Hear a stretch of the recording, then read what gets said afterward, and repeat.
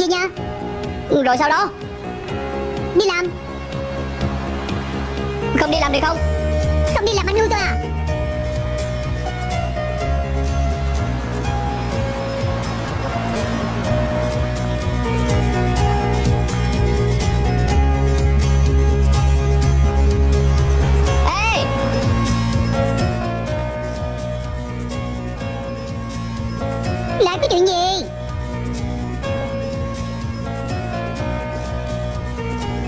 Nuôi cô.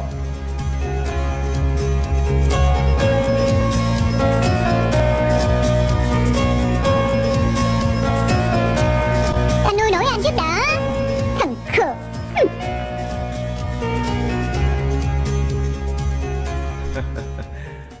Trong cuộc đời nuối tiếc nhất là khi bản thân chưa đủ năng lực mà lại gặp được người mà mình muốn lo cho họ cả đời. Có đúng không? Thì à, cái trích đoạn đó trong cái bộ phim vua hài kịch của châu tinh trì là cái đoạn mà nó không có hài hước chút nào hết.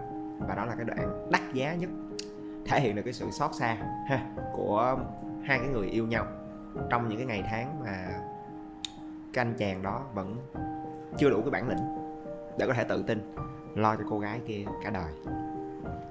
Và rồi gần đây nhất, ha, các bạn trẻ khi mà mình ra rạp và xem cái bộ phim em và trịnh thì dĩ nhiên là bộ phim về các cái cô gái và nhạc sĩ trịnh công sơn. Nhưng mà chắc hẳn sẽ rất nhiều người cảm thấy ấn tượng với cái bóng dáng của một người đàn ông khác trong bộ phim đó. Với một câu nói rất là đắt giá đúng không? Đó là bố của giao ánh.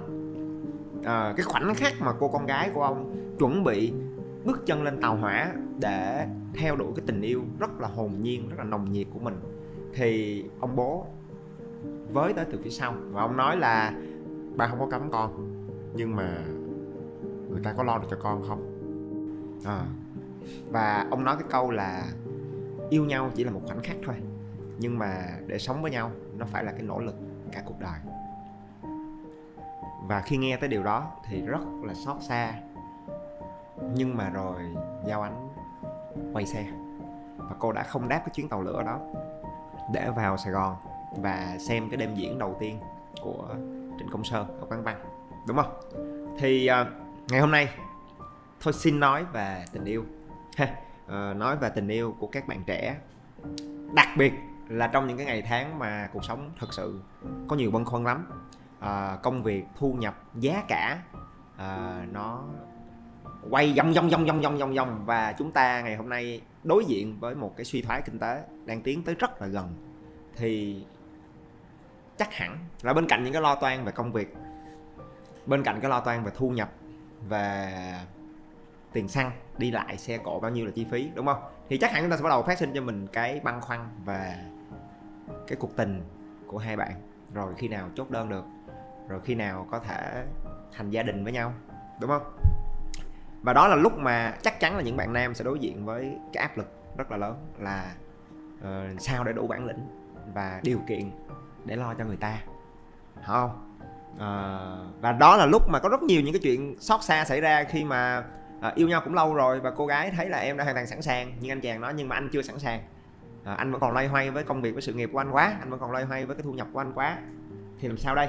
Và chúng ta nhìn ra là cái mong đợi là người đàn ông sẽ lo cho gia đình cho người phụ nữ và sau này là cho con cái nữa. Cái mong đợi mặc định của xã hội đó. Câu hỏi liệu nó có quá khắc nghiệt hay không? Và thành thật mà nói câu trả lời là có. Đó là một mong đợi thực sự rất là khắc nghiệt đối với tình yêu. Nhưng đối với một gia đình thì không. Đó là mong đợi rất hợp lý. Cho nên bây giờ chúng ta sẽ mổ xẻ với nhau về uh, cái chủ đề này để có một cái hiểu sâu sắc hơn điềm tĩnh hơn. Và biết đâu để có cho mình những cái hướng đi để tháo gỡ cái băn khoăn của các bạn. Nhưng mà trước khi nói về bốn cái ý mà anh sẽ trình bày trong quan điểm của anh thì hỏi thiệt là ngày hôm nay có đang có cái băn khoăn đó không? Hay là Dạ anh ơi, vẫn chưa có mảnh tình bắt vai Nhưng mà cái chủ đề này là tình yêu. Em nghe là em phái, phái, chảy nước miếng, chảy nước miếng. Hay là ngày hôm nay các bạn đang ở trong một cái à, cuộc tình rồi chúng ta cũng à, à, đi, đi làm một thời gian rồi và hai bạn bắt đầu có những cái suy nghĩ nghiêm túc hơn để đi lâu dài và đi xa hơn cùng với nhau đúng không? Và sẽ có những cái băn khoăn này nọ đâu đó. Thì hiện nay cái tình trạng của các bạn đang như thế nào? Thả cái comment cái để anh biết khán giả của anh là ai đúng không? Và à, đang cảm nhận như thế nào? Thậm chí là có khi mình cũng đã lập gia đình rồi đúng không? Và ngày hôm nay à, có cái băn khoăn gì không? Trong cái việc à, quản lý thu chi của gia đình đúng không?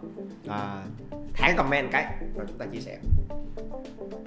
Thứ nhất đây là một mong đợi rất tự nhiên và rất quan trọng trong lịch sử tiến hóa của loài người. Nếu các bạn tìm hiểu về lịch sử tiến hóa các bạn sẽ biết được là gì? Là từ ngày xa xưa người tiền sử sống trong những hang động. Và khi mà một cái người phụ nữ à, có thai và sinh con đồng nghĩa với chuyện là cô ta trong một khoảng thời gian khoảng chừng à, uh, 6 tháng cho đến một năm 2 năm uh, trong quá trình nuôi con thì cái cô gái đó sẽ đánh mất khả năng hái lượm khả năng tìm kiếm thức ăn uh, để lo cho bản thân của mình. Huống hồ cô ta còn phải lo cho cái đứa con. Ha thì cái quá trình mang thai khiến cô ta nặng nề hơn chậm chạp hơn và uh, quá trình sinh con thực ra rất là nguy hiểm đối với cái người phụ nữ thời tiền sử.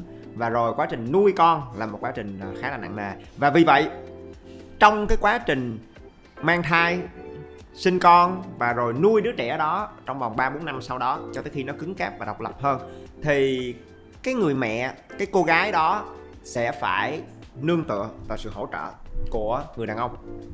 À, cô ta sẽ cần có sự bảo vệ của người đàn ông trước thú dữ trước những cái mối nguy hiểm. Cô ta cần người đàn ông phải đi kiếm ăn để lo cho mình và rồi cô ta mới có sữa để à, để chăm con đúng không? Cho nên là trong khoảng thời gian 2 năm 3 năm đó cái cô gái này hoàn toàn lệ thuộc vào cái năng lực của người đàn ông. Và nếu rủi như khi mà cô ta giao phối và chọn cái uh, người đàn ông của mình. Cô ta chọn nhầm một cái người đàn ông vô trách nhiệm. À hoặc là một cái người đàn ông không có đủ năng lực để bảo vệ cô ta bảo vệ đứa con và kiếm ăn để nuôi cho hai mẹ con. Thì wow chúc may mắn. Bởi vì khi đó cô ta sẽ rơi vào một tình huống cực kỳ bi thảm ha khi mà người đàn ông đó sau khi quan hệ xong thì anh ta lon ton chạy đi quan hệ với những cô gái khác nữa. Ha và là một cái à, con đực vô trách nhiệm bỏ bê gia đình của mình. À, hoặc là anh ta là một cái cá thể quá là yếu đuối đúng không? Không thể lo được. Thì cái giá phải trả là gì? Đó là đứa con sẽ không thể sống sót được. À, trong một cái môi trường sống rất là khắc nghiệt trong thời tiền sử với nhiều những cái mối nguy hiểm và cái nguồn thức ăn rất là khan hiếm thì chắc chắn đứa con nó sẽ không thể sống sót và sinh tồn. Và vì vậy, cái gen di truyền của cô ta sẽ không thể lưu lại và truyền lại cho thế hệ sau.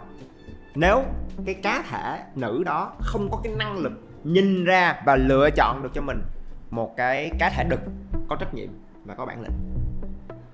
Và vì vậy, sau hàng trăm ngàn năm của sự tiến hóa, thì cái năng lực đó nó biến thành một cái năng lực vô thức của tất cả những con cái, hay là phụ nữ ngày hôm nay thậm chí nó cũng biến thành một cái mong đợi hiển nhiên của xã hội để duy trì được quá trình uh, phát triển nòi giống. Đúng không? À, cho nên là đó là lúc mà chúng ta nhìn thấy là một cách vô thức trong quá trình ghép đôi cô gái sẽ chủ động để tìm kiếm. Có khi không cần phải là một người đàn ông quá là đẹp đẽ quá là uh, duyên dáng không? Cái nhan sắc chỉ là một phần thôi. Đó à, nhưng cái phần quan trọng hơn rất nhiều là cô ta cần tìm kiếm một người đàn ông có bản lĩnh. Thậm chí cụ thể hơn có điều kiện. À, mà ở đây là gì? Là có tiền có thu nhập rồi có khả năng tạo ra thu nhập. Và cái thứ ba cực kỳ quan trọng là một người đàn ông có trách nhiệm. Để rồi mai này khi mà xây dựng gia đình với nhau cái người đàn ông đó có thể hỗ trợ cô ta trong cái giai đoạn sinh con nuôi con và anh ta sẽ không bỏ trốn ok.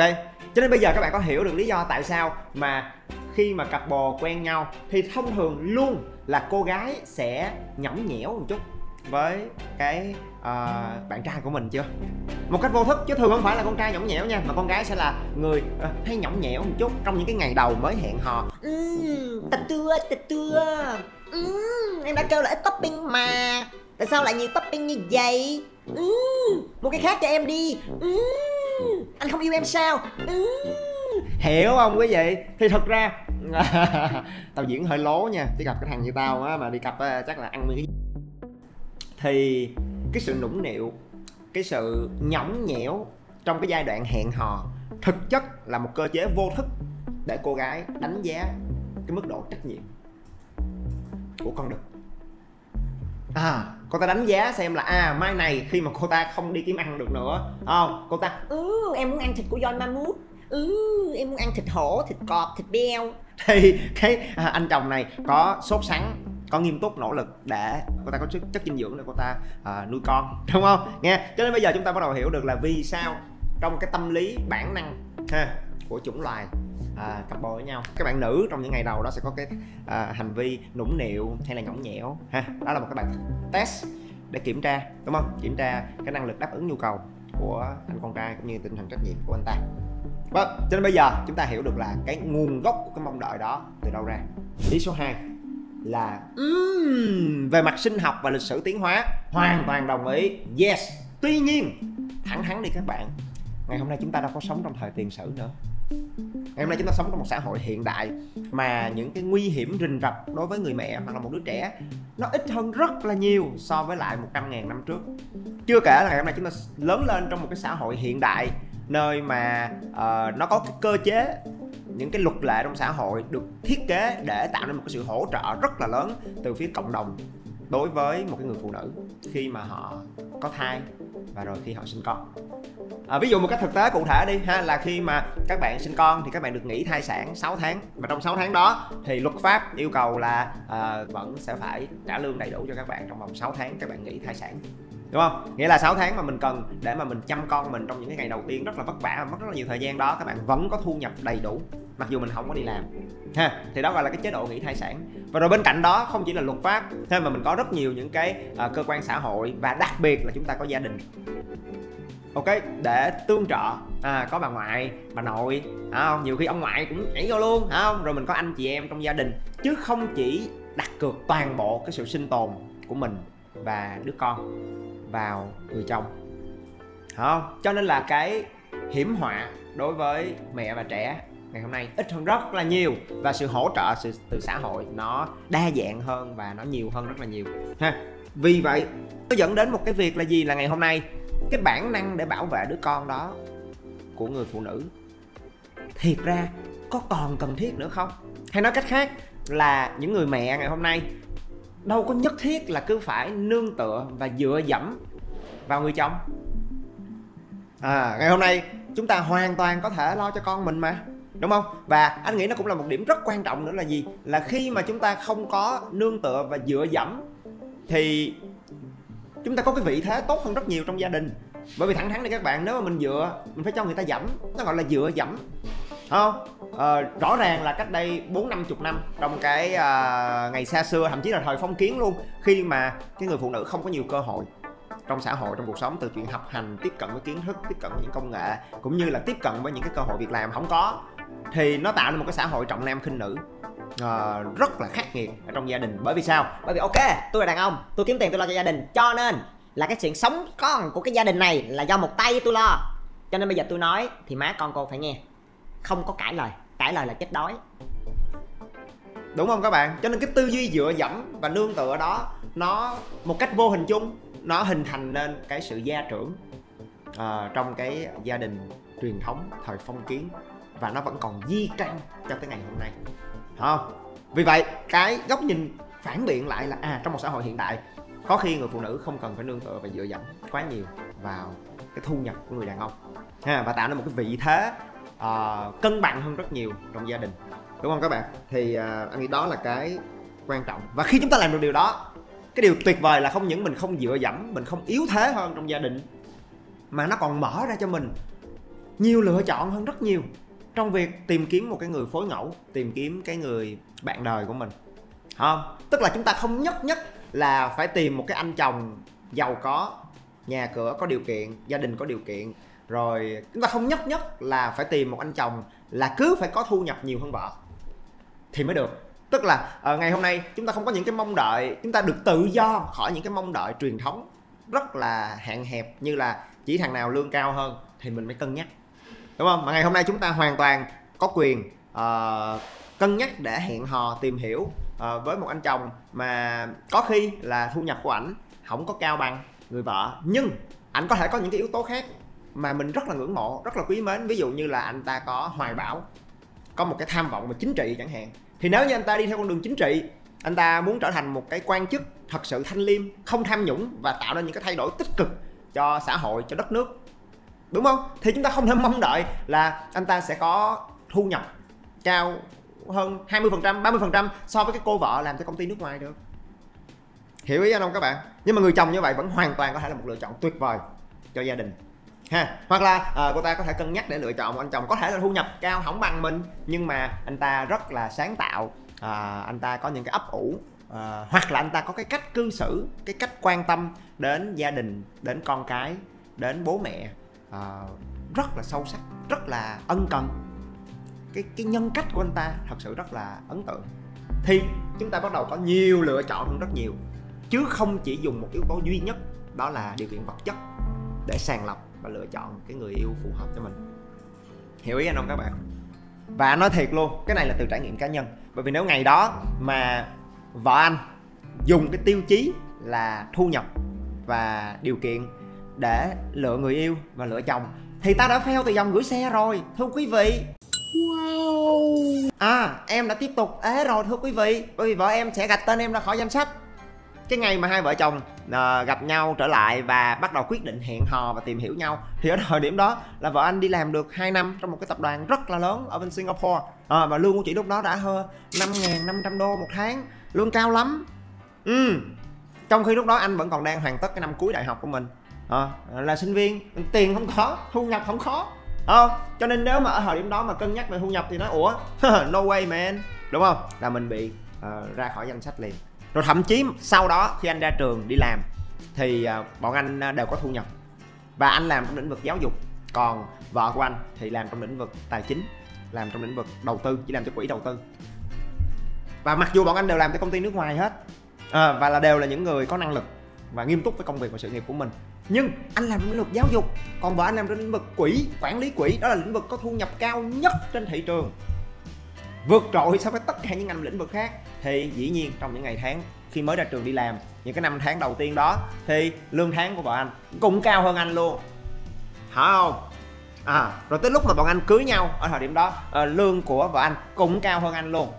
Cho nên nếu ngày đó mà chỉ dựa trên cái thu nhập và cái đồng lương thì chắc là cô vợ của tôi đã quay xe và để một mình tôi đứng ngơ ngác ngơ ngác. Ờ, cầm bó bông đứng ngơ ngác ngơ ngác. Khi bước ra khỏi xe hơi bonjour Michiko. Bonjour. You know? Vì vậy xin được gom lại cái ý thứ hai này cho gọn gàng hơn là sau rất nhiều thập kỷ nỗ lực đấu tranh cho cái quyền bình đẳng của phụ nữ. Để ngày hôm nay các bạn nữ được hoàn toàn bình đẳng trong việc tiếp cận giáo dục uh, tiếp cận những công nghệ kỹ năng và rồi tiếp cận những cơ hội công việc và thể hiện bản lĩnh của mình một cách rất là sòng phẳng trong môi trường làm việc đúng không? Thì các bạn phải nhìn thấy được cái điều mình có lại ngày hôm nay là những bạn nữ có bản lĩnh của mình có thu nhập có sức ảnh hưởng có quyền lực của mình. Và thẳng thắn đi các bạn tất cả những thứ đó mang lại cho mình cái gì? Mang lại cho mình sự tự do và mang lại cho mình quyền để có nhiều lựa chọn hơn đó chính là cái đặc quyền lớn nhất của những người giàu có. Vì vậy các bạn nữ ngày hôm nay có toàn quyền có nhiều lựa chọn hơn để xây dựng cái mối quan hệ tâm đầu ý hợp và xây dựng một cái gia đình hạnh phúc ấm no và uh, rất là bình đẳng. Uh, gắn bó thấu hiểu và tôn trọng nhau. Alright tiếp theo ý số 3 đó là đối với các anh em thì nói tới đây thở phào nhẹ nhõm một cái ha. Đó là bình tĩnh, đừng quá áp lực. Đừng có bước vào một cái tình yêu và ngay từ đầu thì phải nhất nhất là ồ mình phải lo cho cô ấy cả đời, mình phải lo cho cô ấy suốt đời. Chắc gì cô ta cần các bạn lo? Ồ mình phải nuôi cô ấy suốt đời. Chắc gì tụi bay nấu ăn ngon, lỡ cổ nấu ngon hơn tụi bay thì sao tụi bay nuôi hả không? Cho nên là đừng có tự đặt ra cho mình cái áp lực quá lớn là mình phải lo cho cô gái đó suốt đời bởi vì, well cô ấy cũng có bản lĩnh, có năng lực, có cá tính của riêng cổ. Hả không? Chắc gì cổ cần các bạn lo cho cổ suốt đời. Hả không? Thì à, đó là cái thứ nhất để mình đừng quá áp lực. Nhưng, anh nói ngược lại nghe, là có thể cô ấy không cần các bạn lo cho cổ. Nhưng, nếu các bạn không lo được cho cái thân của mình trong hiện tại, thì có thể vẫn chấp nhận được đi nhưng mà rồi 3 năm 5 năm nữa ở thời điểm này các bạn cũng không thể nhìn ra được một cái viễn cảnh mà các bạn có thể độc lập và tự lo được cho cái tấm thân của mình. Thì anh rất tiếc trong trường hợp đó nó quá là khó. Không? À, vì suy cho cùng thì phụ nữ ngày hôm nay họ bản lĩnh hơn họ độc lập hơn họ năng động và tài giỏi hơn rất là nhiều. Nhưng thực ra trong một cái mối quan hệ họ vẫn luôn có cho mình cái ước mơ để lấy được một cái tấm chồng mà họ có thể tự hào và ngưỡng mộ. Dĩ nhiên, không nhất thiết là họ sẽ tự hào và ngưỡng mộ chỉ là vật chất hoặc là tài sản. Nhưng mà mình phải có một cái gì đó hả không? Mà nó cao hơn bậc để cái cô gái của mình họ ngưỡng mộ mình. Thì nếu như nó không phải là tài sản vật chất, thì nó phải là học thức, nó phải là cái khí chất, cái hoài bão, hoặc nó phải là cái nhân cách, hay là cái lối sống của mình, cái cách cư xử với bạn bè, với anh chị em trong gia đình, với ba mẹ, với những người xung quanh. Không, thì mình vẫn phải là một người đàn ông có bản lĩnh và có cái tố chất gì đó mà cái người phụ nữ của mình cảm thấy ngưỡng mộ và tự hào. Alright còn ngược lại, nếu chúng ta kém cỏi một cách toàn diện thì next. Ý cuối cùng, cái này anh gửi gắm với cả hai bạn, ha, đó là tình yêu mà. Khi mà bước vào cái tình yêu trong sáng và nghiêm túc với nhau, thì à, ai cũng ước mơ là sẽ đến được cái hôn nhân, đúng không? Nhưng mà tình yêu là tình yêu, phải không? Có hợp, có tan, có khi có duyên mà không có nợ, phải không? Rồi sẽ có những cái thăng trầm, có những cái biến động, có những người bước vào cuộc đời mình rồi ở lại, có người bước vào và không ở lại, rồi ra đi, để lại những cái kỷ niệm, những cái ký ức không? Để lại những cái bài học để trưởng thành hơn. Cho nên là thực ra cho mình cái quyền được yêu một cách trong sáng và chân thành. Và điều quan trọng nhất là cho tình yêu cái quyền được thực hiện cái điều màu nhiệm nhất đối với cả hai bạn đó là giúp các bạn trưởng thành hơn khi đồng hành cùng với nhau. Trưởng thành hơn trong tình yêu. Bởi vì uh, anh tin là yêu nhau một cách tận tụy và chân thành thì chưa chắc là sẽ cưới được nhau. Nhưng nếu mình thật sự yêu nhau một cách chân thành, trong sáng và tận tụy, thì tin chắc là các bạn sẽ trưởng thành rất nhiều trong cái quá trình yêu nhau. Suy cho cùng, trưởng thành là khi mà mỗi chúng ta có được một cái nhìn khách quan và sâu sắc về chính bản thân của mình. Mình biết mình là ai, mình biết mình có cái gì, mình không có cái gì. Mình biết là mình mạnh cái gì, mình hỏng mạnh cái gì rồi mình biết là mình thật sự muốn cái gì mình trân trọng mình quý mến cái điều gì ở cái người yêu của mình. Thì khi mà mình có được cái sự thấu hiểu sâu sắc đó về chính bản thân thì đó là lúc mà cái sự trưởng thành đó sẽ giúp các bạn sẵn sàng hơn rất nhiều cho uh, tình yêu cũng như là việc gây dựng một cái gia đình. Ok? Cho nên là anh tin là việc tìm được cho mình cái câu trả lời đó. Hiểu được bản thân của mình và rồi nỗ lực để định hình và phát triển được cái bản lĩnh của mình một cách trọn vẹn, tìm ra cái hướng đi cho cuộc đời của chính mình, thì đó là cái nhiệm vụ rất quan trọng trong những ngày tháng còn trẻ. Ok? Của cả nam lẫn nữ. Và khi làm được điều đó, nó sẽ là một cái tiền đề rất vững chắc để các bạn bước vào tình yêu và rồi nghiêm túc xây dựng với nhau một cuộc hôn nhân và một cái gia đình bền vững, ấm áp và hạnh phúc. Alright? thấy tao nói về tình yêu deep không? Dễ thương không? Nếu mà, mà các bạn thấy uh, cái bài giảng này của anh cái chia sẻ này của anh uh, uh, hay ha thì thả cái like hoặc là comment chia sẻ cái quan điểm của các bạn. Và anh nghĩ rất quan trọng nè đó là nếu thấy nó thật sự hợp tình hợp lý đúng không? Thì bạn nữ gửi cái này cho bạn nam gửi cho anh người yêu của mình để ảnh coi để ảnh không có quá áp lực và gồng mình lên quá nhiều nhưng cũng nghiêm túc hơn trong việc định hình cái năng lực cũng như là bản lĩnh của riêng ảnh đúng không? Còn các bạn nam coi cái này mà thấy hay thì gửi cái này cho bạn gái của mình coi rồi cùng thảo luận trao đổi với nhau. Và anh tin là quá trình đó sẽ giúp mình nhận ra là cái cô gái của mình là cái phiên bản phụ nữ độc lập bản lĩnh năng động. Hay là cái phiên bản bánh bèo nương tựa ỉ eo thì nó sẽ giúp các bạn hiểu nhau sâu sắc hơn rất nhiều. Ok còn lại ai chưa có bồ thì nghiêm túc trau dồi bản lĩnh xác định và hiểu bản thân của mình hơn để chuẩn bị cho tình yêu tới. Nghe à, cuối cùng đó là trong cái quá trình trau dồi và định hình được cá tính cũng như năng lực bản lĩnh của mình, ha. Thì các bạn hoàn toàn có thể tự trau dồi, tự học hỏi qua những cái va chạm trong cuộc sống, trong công việc, trường lớp, đúng không? Nhưng nếu ở thời điểm này mà mọi người hơi bâng khuâng, loay hoay và thiếu định hướng thì các bạn có thể cân nhắc để tìm hiểu về cái chương trình tư vấn và tính cách, năng lực và định hướng nghề nghiệp của CAD trong học viện của anh. Hoặc là tìm hiểu về cái khóa học Lead Your Career, là khóa học lên cái chiến lược để phát triển được bản lĩnh kỹ năng và dẫn dắt sự nghiệp của các bạn một cách chủ động hơn. Thông tin anh để trong description.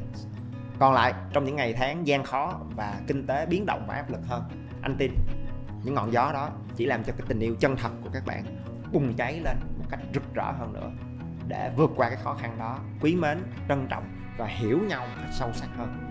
Ok, xin được đồng hành với nhau trong cái tình yêu thương to lớn đó. Cảm ơn các bạn.